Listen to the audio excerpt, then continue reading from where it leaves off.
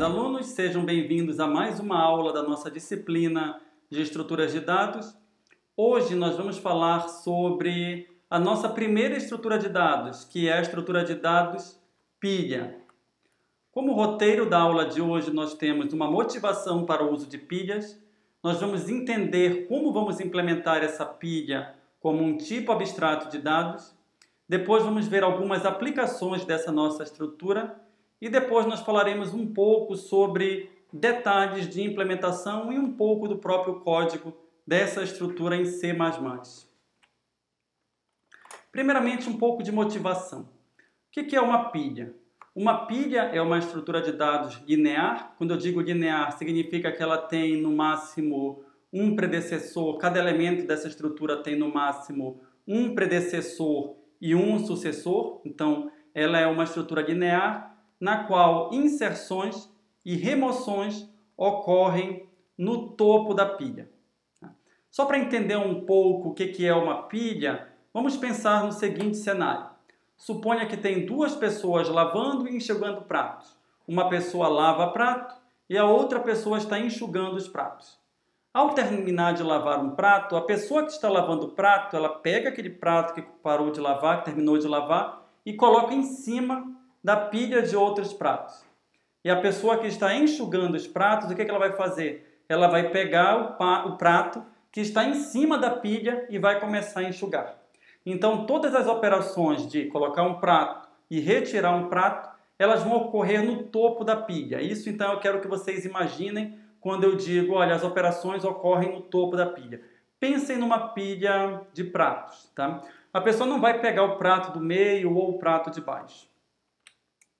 Então, o que, que a gente tem aqui? São as duas pessoas que estão lavando e enxugando o prato. A pessoa que está lavando o prato, o que, que ela faz? Ela termina de lavar o prato e ela dá um push. O que, que significa então o push? O push significa colocar no topo da pilha um novo prato. Vamos supor que essa nossa pilha ela tem limite. Então, o que, que essa pessoa ela precisa se preocupar também? Ela precisa se preocupar se a pilha não está cheia. Então, por exemplo, eu tenho que colocar o prato no topo da pilha. Se a pilha já tiver prato demais, eu dou uma parada. Eu relaxo um pouco. Provavelmente a outra pessoa que está enxugando, ela está demorando um pouco mais do que eu. Então, o que, que essa pessoa aqui vai fazer? Ela vai verificar se a pilha está cheia. Se não estiver cheia, ela consegue dar um push. Então, pensem, essas duas operações aqui serão implementadas no nosso, no nosso contexto. E essa outra pessoa que está enxugando os pratos, ela vai pegar uma, um prato que está no topo da pilha. Pegar um prato que está no topo da pilha significa remover o prato do topo da pilha. Essa é a operação POP. A operação POP significa eu vou pegar um prato do topo da pilha e vou fazer alguma coisa com ele. Tá? Só que para pegar um prato, eu tenho que verificar se o prato existe. Então, eu vou dar uma olhada aqui nesse is empty. Se a pilha não está vazia, eu sei que eu posso pegar um prato que está no topo da pilha. De uma maneira mais específica aqui, supondo que eu tenho uma pilha inicialmente vazia. O push, por exemplo, do elemento 2, significa que após a operação, a pilha vai ficar nesse formato aqui. Então está aqui a minha pilha e está aqui o elemento no topo da pilha. Se eu der um push 3, então o que, que vai acontecer? O elemento 2 ele vai deixar de ser o topo da pilha. Por quê? Porque o elemento 3 ele vai passar a ser o topo da pilha. Se eu colocar um push 5, o 5 agora vai passar a ser o topo da pilha, vai ficar acima do 3. E se eu der um pop, perceba, ó, pop não precisa de nenhum parâmetro, por quê? Porque se eu vou remover da pilha, só existe uma posição onde eu posso remover da pilha, que é do topo. Então, pop significa remover quem está no topo da pilha. E quem é que está no topo da pilha? É o elemento número 5. Então eu tiro o 5 do topo da pilha. Então ele volta a ter apenas os elementos 2 e os elementos 3, do modo como estava antes de eu colocar o elemento 5. Então é isso que é a pilha. Todas as operações vão ocorrer no topo dela. E daí algumas frases que a gente sempre associa quando a gente pensa numa pilha. O primeiro elemento a entrar na estrutura de dados, no caso a pilha, ele tem que ser o último elemento a sair dessa estrutura. o último elemento a entrar tem que ser então o primeiro a sair. É a mesma coisa de dizer first, uh, first in, last out e last in, first out. Então, o primeiro a entrar tem que ser o último a sair e o último a entrar tem que ser o primeiro a sair. É um comportamento parecido com o botão de desfazer de qualquer editor de texto. Você está lá digitando o seu texto, percebeu, ops, errei, não era com acento. Você precisa dar um Ctrl Z. O que, que o Ctrl Z vai fazer? Que é o desfazer, tá? No meu caso é Command Z, mas tudo bem. O que, que o Ctrl Z vai fazer? Ele vai tirar aquela, vai remover aquela última edição que você fez. E uma coisa a se lembrar é inserções e remoções sempre em um mesmo ponto, que no caso é o que eu estou chamando de o topo da pilha. Então, o que, que o nosso tipo abstrato de dados vai ter que implementar? O nosso tipo abstrato ele vai implementar o exempt, que eu mencionei anteriormente, o isFull, também mencionei anteriormente, print, é porque eu gosto do print, o push, para incluir um elemento, e um pop, para remover um elemento. E daí eu tenho outros métodos que estão por aqui. Por exemplo, eu tenho um método construtor. Nós já conhecemos o que é um construtor. Serve para a gente poder criar instâncias do objeto.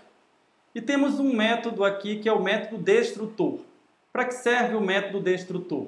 O método destrutor serve para a gente desalocar as memórias depois que o programa, que esse objeto, ou o delete, por exemplo, for chamado nesse objeto. Se alguém chamar delete nesse objeto, se ele foi alocado de maneira dinâmica, então o destrutor vai ser chamado.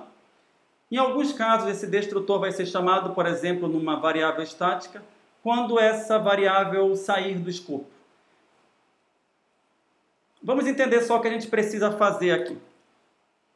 Eu falei para vocês em aulas anteriores que tudo que a gente alocava usando o new, a gente desaloca utilizando o delete. Aqui vai ser exatamente a mesma coisa.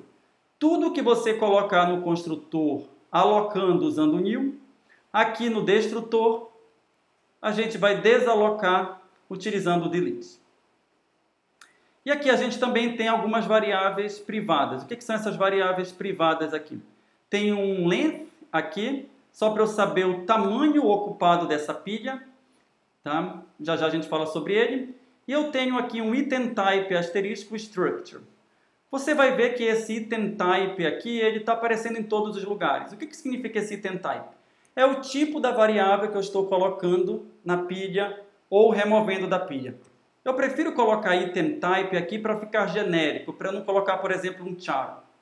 Mas no caso da implementação que vocês forem ver no meu, na implementação que eu dei para vocês, no caso da implementação que eu, vou, que eu dei para vocês, o item type.h, eu coloquei ele sendo apenas um caractere. Aqui tem typedef, char, item type. Significa, olha, o char, na ver, o item type, na verdade, é como se fosse um apelido aqui para o char. Então, é interessante ver o código de uma maneira mais genérica, mas saibam que, na verdade, nessa implementação aqui, o que eu estou usando como item type, na verdade, é um, um caractere. Tá? E aqui dentro desse stack.h tem o que? Tem justamente essa declaração dessa classe aqui. Eu declarei uma constante aqui, max item, só para dizer o tamanho máximo do vetor que eu vou alocar. Nessa aula de hoje eu vou implementar a pilha como um vetor. O tamanho máximo desse vetor vai ser de 100. Entretanto, essa pilha não vai ocupar todos esses 100 vetores, por exemplo. Se eu insiro um elemento, então dentro da pilha é como se tivesse apenas length igual a 1. Se eu insiro o segundo, esse length aqui vai virar 2 e assim por diante. Então, o max vai me dizer qual, qual, é o número de elementos aqui no máximo nessa, nessa pilha e o length vai ser o número de elementos em que realmente estão na pilha naquele determinado momento. Mas estamos nos apressando demais. Vamos dar uma olhada aqui. Nós já falamos sobre o tipo abstrato de dados, Acho que já ficou claro o que todos esses métodos são. Vamos falar agora um pouco sobre a aplicação da estrutura. Para que serve uma pilha? Uma pilha, na verdade, ela é uma estrutura bastante útil, principalmente quando precisamos garantir alinhamento de componentes em processos. O que, que significa isso? Significa que, se você quiser manter um alinhamento, um alinhamento seria, por exemplo, chaves ou parênteses. Uma linguagem de programação, todos os escopos precisam estar bem alinhados. Se um escopo se abre, ele se fecha aqui. Se, por exemplo, eu abrir algo que seja um parêntese aqui, ele tem que se fechar antes de eu poder fechar essa chave. Então, eles têm que estar alinhados. Se ao invés de fechar o parêntese aqui, ele for fechado bem aqui, isso significa que ele não está, que ele não está alinhado. Tá? Então, isso aqui está bem alinhado, enquanto que isso aqui não está bem alinhado. Uma pilha é muito útil para verificar se esse alinhamento ele não foi violado. Então, alinhamentos, a gente usa bastante pilhas chamadas de funções na execução de programas, que na verdade também é uma espécie de alinhamento. A gente chama uma função, essa função, se essa função chama outra, então essa outra precisa retornar para a anterior retornar. Tá? Então as funções, as chamadas de funções são alinhadas. Análise de sintaxe de linguagens de programação por conta, por exemplo, dos escopos.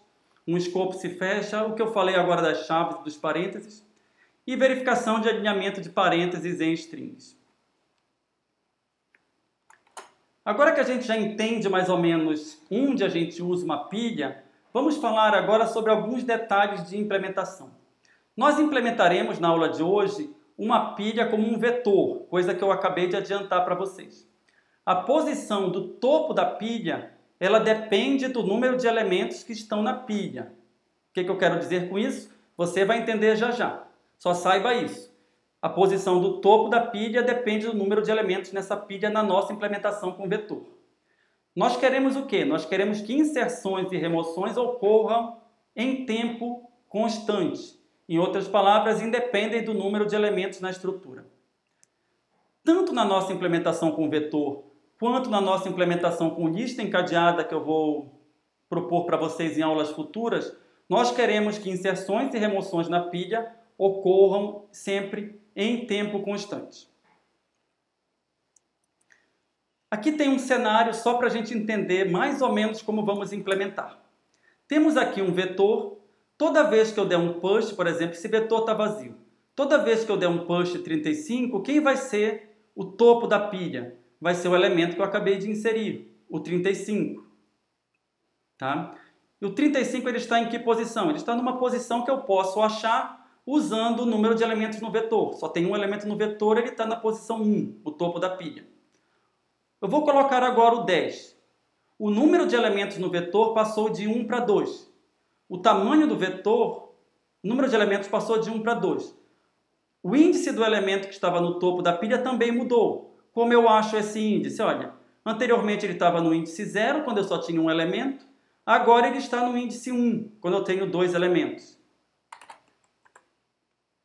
Se eu colocar mais elementos, por exemplo, eu coloquei o 94, 12 e o 45. Quantos elementos eu tenho aqui? 1, 2, 3, 4, 5. Qual é a posição que está no topo da pilha? Tá? É o elemento 45 que está no topo da pilha. Ele tem o índice 4. Isso quer dizer então o quê? Que se eu tiver a variável length bem preenchida, tá? o número de elementos nesse meu vetor, então eu consigo achar o elemento que está no topo. Por quê? Porque ele está na posição length menos 1. Então isso quer dizer que eu só preciso de um atributo para saber quem está no topo da pilha. E com esse atributo, eu sei como colocar elementos e como remover elementos. Por quê? Porque para colocar elemento, basta eu colocar na posição length e depois incrementar o length para dizer, olha, eu coloquei mais um. Se eu quiser remover o elemento, Basta eu remover quem está na posição length menos 1 e depois decrementar o length.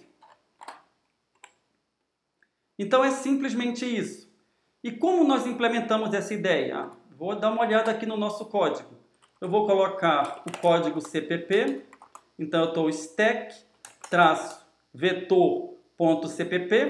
Aqui dentro desse stack vetor.cpp, já falei em aulas anteriores, o que, que tem que ter primeiramente? Ele vai ter que ter um include para o stack.h. O que, que tem mais aqui? Ele tem um include para IOStream, para eu poder jogar coisa na saída padrão. E aqui ele tem esse using namespace std. Para quê? Para eu colocar cout ao invés de std dois pontos, dois pontos, cout. O que, que eu preciso colocar no construtor? Ó, nesse construtor, eu vou precisar criar a estrutura. A alocação que eu estou fazendo é uma alocação dinâmica. No ponto H, eu apenas declarei o nome da variável. O nome da variável do que eu coloquei no ponto H era structure. E eu declarei que essa structure seria um ponteiro.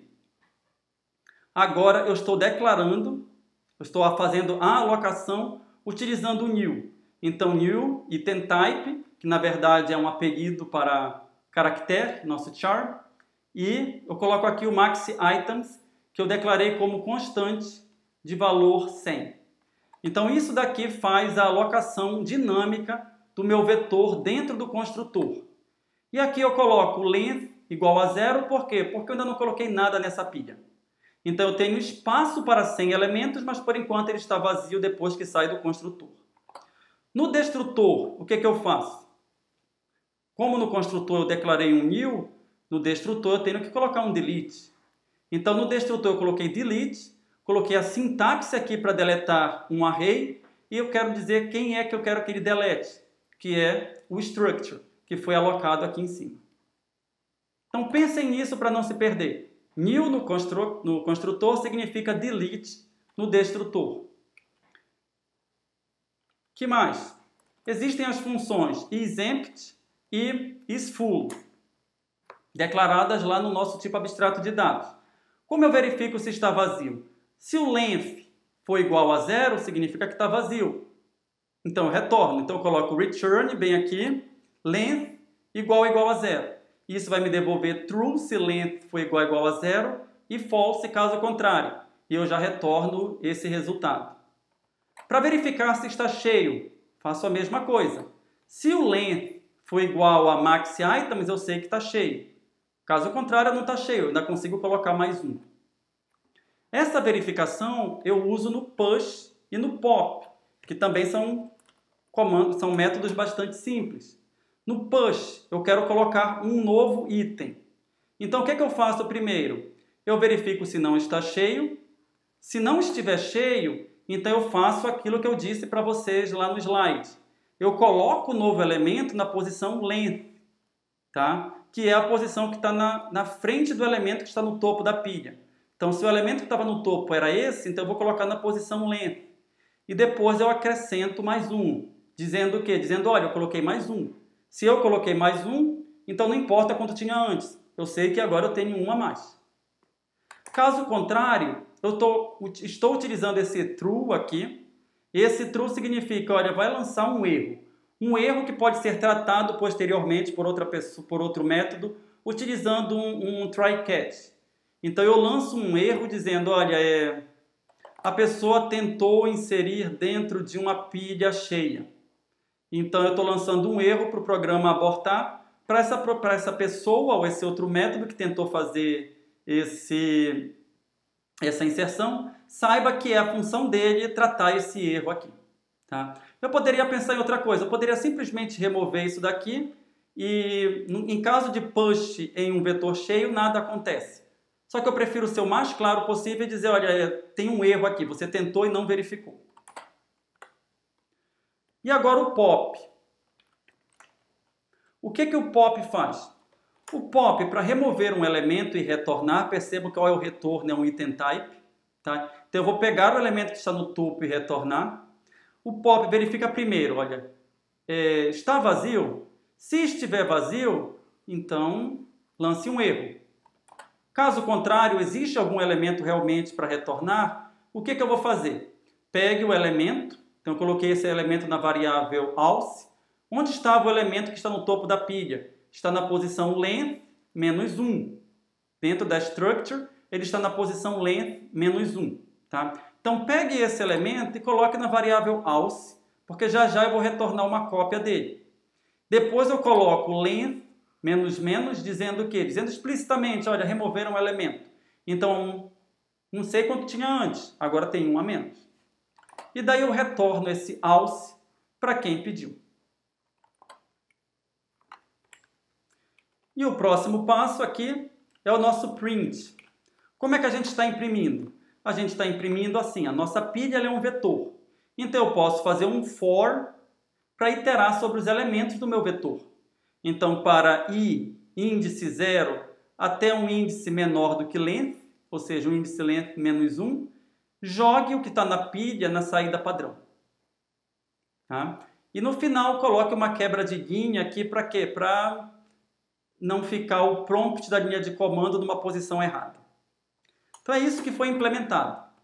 E para executar essa estrutura, existe esse stack test.cpp. Nesse stack test.cpp, eu estou declarando aqui item type caractere, é uma variável do tipo item type, eu sei que item type é um char, depois eu declaro uma variável do tipo stack, que é a nossa variável que a gente acabou de criar. Então essa é a nossa pilha. Então o nosso TADS, é nosso tipo abstrato de dados que a gente implementou é para a variável stack. E eu também declarei um outro stack item aqui. Vamos ver onde eu estou usando. Eu estou usando da seguinte maneira. Eu estou pedindo para o usuário inserir vários caracteres na linha de comando. Toda vez que um usuário inserir um caractere, eu verifico, olha, esse caractere é uma quebra de linha? Se não for uma quebra de linha, eu coloco ele dentro da pilha. Tá? Então, quando o usuário der o Enter, eu sei que eu vou sair desse while aqui. Enquanto ele não der Enter, eu empilho. E depois, o que, é que eu faço? Eu só tiro da pilha, verificando, olha, enquanto a pilha não estiver vazia, eu vou remover o elemento que está na pilha e eu vou imprimir esse elemento que eu acabei de retornar da pilha na saída padrão. Então vamos ver como isso daqui vai se comportar.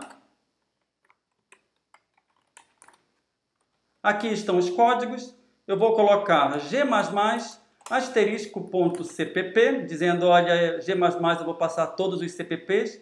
Lembrando que eu não passo o ponto H. Então, g++ asterisco.cpp. E aqui eu vou colocar ponto barra a ponto out.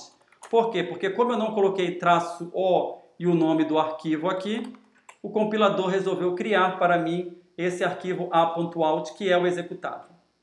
Então, ponto .a, ponto .out, ele me pede adicione uma string, eu vou colocar vários caracteres que ele vai empilhar, depois eu vou colocar o enter agora, quando eu der o enter, enquanto eu colocava os caracteres, ele vai colocar na pilha. Depois que eu dei o enter, ele vai começar a tirar da pilha. E o que, que aconteceu? Como ele tirou o último primeiro, então ele imprimiu, na verdade, a string de volta de trás para frente. Então isso garante para a gente que a gente fez uma implementação correta. Todos esses códigos estão implementados aqui no meu, no, nos slides. Você pode dar uma olhada pelos slides, com certeza. Entretanto, eu recomendo que vocês tentem executar esse código é, utilizem ele só para vocês se acostumarem com o G++. Tentem fazer algumas alterações nesse código para ver se funciona e tentem aí só brincar um pouquinho com ele. A melhor maneira de aprender essas disciplinas que são fortemente voltadas em programação é indo lá no código e programando por conta própria. Então é isso que eu gostaria de falar na aula de hoje. Uma implementação de pilha utilizando vetores e mostrando o código aqui na nossa linguagem C++. Um forte abraço e até a próxima aula.